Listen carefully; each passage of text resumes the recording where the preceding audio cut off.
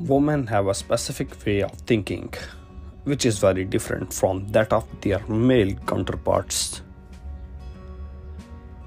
What happens when a woman falls under a man's spell?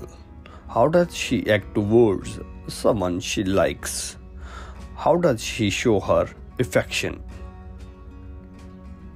What are some sure ways for you to know that a woman is interested in you?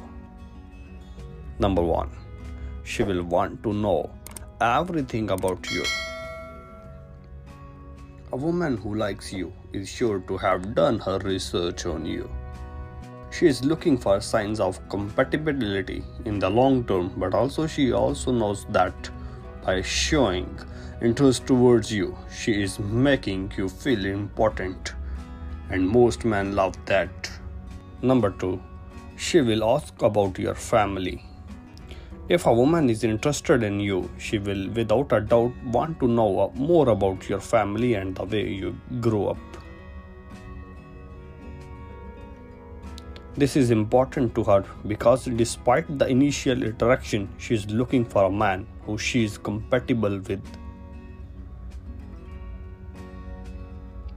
In her head, she will be thinking whatever your family would like her, whatever her family will like yours, and vice versa. Number three, she will try to engage in physical contact. Body language experts come that we are only comfortable touching someone we like. A slight brush on your shoulder, a subtle touching of her leg to yours, a slight brush of her hand against yours, these are all signs a woman is interested in you.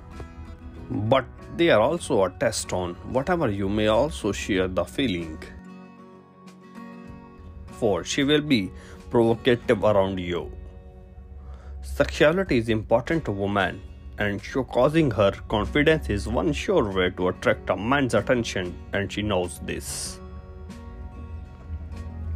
So, if a woman is acting playful around you, this is a sure sign that she likes you. Number 5. You will likely run into her by accident. If a woman likes you, she will look for every opportunity to get close to you. So don't be surprised if she suddenly starts frequenting places where she is likely to run into you. I hope you like this video. Please don't forget to subscribe my channel. Thanks for watching.